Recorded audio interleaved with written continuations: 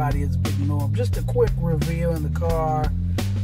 After the last win, about a $10 ticket, and we got three matches. So we got 27 and 12 for 15 bucks.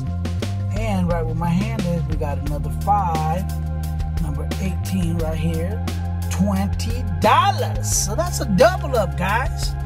Double up on the Monopoly jackpot. Hey, that's love.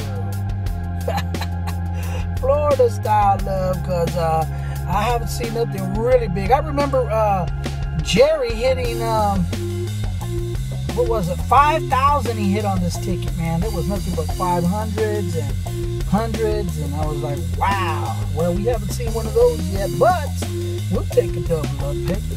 This is Big Norb signing out, everybody. Peace. I'm out.